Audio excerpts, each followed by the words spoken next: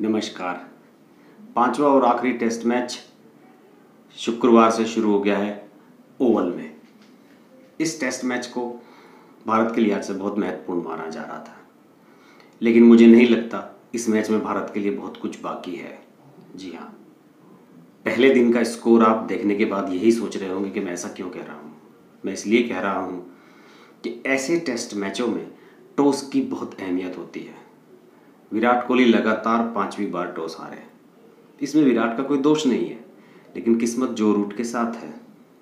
जो रूट चार, जो रूट ने सिर्फ़ एक बार टॉस जीतकर भारत को बल्लेबाजी के लिए बुलाया था, और वही मैच इंग्लैंड हार गया था। लेकिन इस बार जो रूट ने ऐसी कोई गलती नहीं की, और उन्होंने खुद बल्लेबाजी चुनी। भारत की टीम में जैसे कि उम्मीद की जा रही थी, दो बदलाव हुए हैं। अश्विन और हार्दिक पांड्या की जगह हनुमान विहारी और पूरे दौरे पर बेंच पर बाहर बैठे रहे रविंद्र जडेजा को टीम में बुलाया गया। और रविंद्र जडेजा ने देखिए, अपनी अहमियत को साबित कर दिया। पूरे दिन में 24 ओवर तक उन्होंने पसीना बहाया। और पहला विकेट दिलवाया भी रविंद्र जडेजा ने, जेनिंग्स के रूप में। लंच से पहले एक ही विकेट गिरा था इंग्लैंड का। और ये विकेट जडेजा ने लिया था। कुक जो कि अपना लास्ट मैच खेल रहे हैं, उन्होंने बहुत शानदार बल्लेबाजी की और लंच से चायकाल के बीच इंग्लैंड ने कोई विकेट नहीं खोया। 133 रन पर एक विकेट था चायकाल के समय स्कोर उसके बाद एकदम से मैच पलटा। जैसा कि इंग्लैंड में नेचर है, सारे टेस्ट मैचेस में जो लास्ट का सेशन है, उसी में सारे विकेट गिरते हैं। आज भी छः विकेट गिरे। छः विकेट में फास्ट बॉलर्स का योगदान था। एक विकेट और जडेजा ने लिया। इसके अलावा ईशांत शर्मा ने तीन बहुत महत्वपूर्ण विकेट लिए। दो विकेट बुमराह ने एक ही ओवर में लिए टी के बाद। उसी ओवर के बाद सारा मैच का रुख बदला। इतना सब हो जाने के बाद भी इस मैच में मुझे उम्मीदें क्यों नहीं नज़र आई, उसकी वजह मैं आपको बताता हूँ। इस मैच में भारत को इंग्लैंड को कम से कम 250 रन तक तो रोकना पड़ेगा।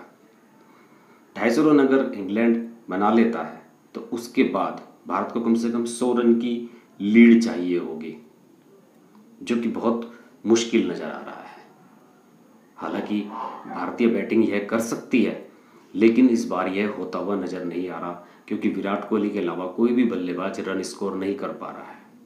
के एल राहुल के एल राहुल भी हैं, शिखर धवन भी खेल रहे हैं, चेतेश्वर पुजारा भी हैं, रहाणे भी हैं, हनुमा बिहारी भी आ गए हैं, ऋषभ पंत अच्छे बैट्समैन हैं, लेकिन उसके बाद भी मुझे नहीं लगता कि भारत साढ़े तीन सौ रन इसमें स्कोर कर सकता है।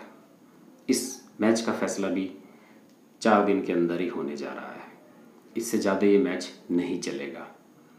अगर भारत ने सौ रन की बढ़त पहली इनिंग में ली तो इस मैच में कुछ चांस हैं, वरना भारत इस मैच को हार ही सकता है। ड्रॉ तो इंग्लैंड में कोई टेस्ट मैच हो ही नहीं रहा है। कुल मिलाकर किस्मत कोहली का साथ देती नज़र नहीं आ रही है। लगातार पांचवा टॉस हार गए।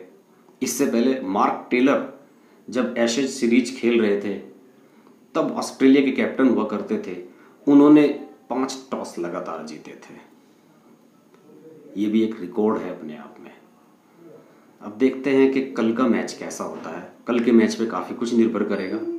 भारत कितनी जल्दी उन्हें आउट करेगा और कितनी जल्दी रन बनाएगा इंग्लैंड को लीड देने के लिए। कल का मैच, इस टेस्ट मैच का भाग्य तय करेगा। कल फिर आपसे मुलाकात होगी। नमस्कार।